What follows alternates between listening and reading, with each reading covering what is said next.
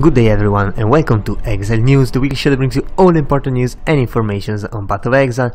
And first news this week is about what's going to happen in the next few weeks for Path of Exile. So during the, the two 10 days events that are going to happen, actually the first one's already started, there's going to be a little bit more prices and this is just for top ranked players. So Number 2 to number 5 in each ascendancy will also receive a regular demigod's dominance, while the number 1 in each category will actually receive an alternate art demigod's dominance.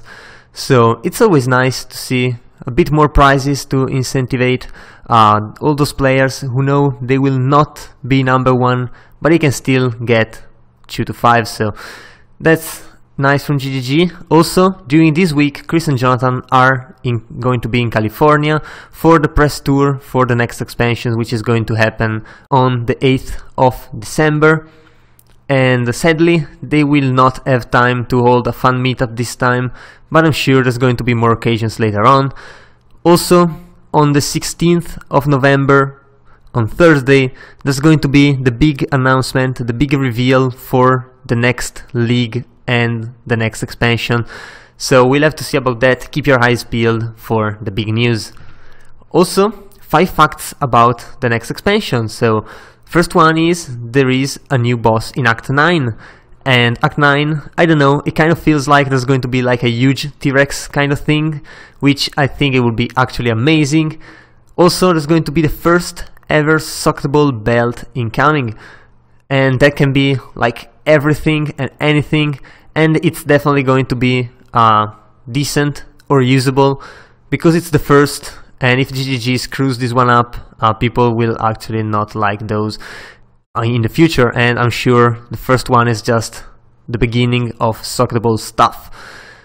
We already have rings, we just need amulets now. So, green and black are the colors of a new league. Any kind of thing I don't know why they said of a new league instead of saying of the new league. It kind of feels like it's not going to be the colors of the next upcoming league, but still, green and black are probably going to be the colors of the new league, which is going again to start on the 8th of December. Also, there's a new stash tab type for this expansion. I don't know about this, probably means you'll like or you'll have to cache some stuff, but I don't know, we'll have to see how that goes. Doesn't really look that good. Also, the last thing is that there are 4 new skill gems and 6 support gems incoming. And this is actually a pretty big news. 4 new skill gems are actually a lot for the type of expansion that it is. And we also got a developer interview with Natanel, hopefully I pronounced that wrong, which is one of the visual effect artists at GGG. And well, as usual for these interviews, you have kind of general questions, how they started, how they got into grinding gear games, what they do on a daily basis, and then you can have some sneak peeks on how they work on their stuff, like they start from the concept, they do the texturing, and there's there's an example over here. I mean, it's actually pretty interesting to read, so if you are interested, especially if you are interested into getting into this kind of business, I think these interviews are actually pretty useful. If you are just interested in how the business works or how it works in general, definitely give it a read. Uh, it's actually pretty interesting. We also got uh, the reveal for the uniques that are coming in the next expansion that were teased the, the previous week. So first one is storm charger which are some glyphs which are pretty good for shocking enemies, increasing shock duration and shock effect, also converting physical damage to lightning damage. However, uh, they grant pretty much no defense, so there's the trade. The same kind of works for the Wraith Lord, which is a pretty good minion helmet with the minion gems, with the minion regenerate 1% life per second and a flat 1000 life to specters. However, it grants no defense whatsoever, so you'll have to give something to gain something. That's pretty much how Path of Exile works most of the times.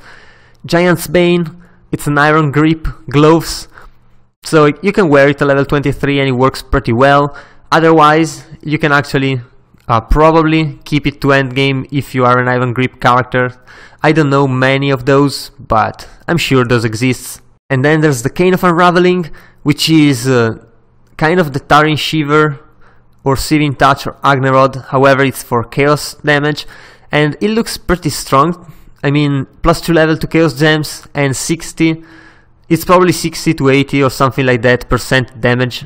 It's increased, of course it's not more, I mean it's already strong enough, and it also has bonuses if you go for power charges, so a crit build is definitely going to be really good with this, and also if you don't use the crits, you can still use power charges to actually regenerate mana or increase your cast speed, so definitely a really good stuff if you want to go full offense instead of using a shield, which uh, is what most people actually do for the most part.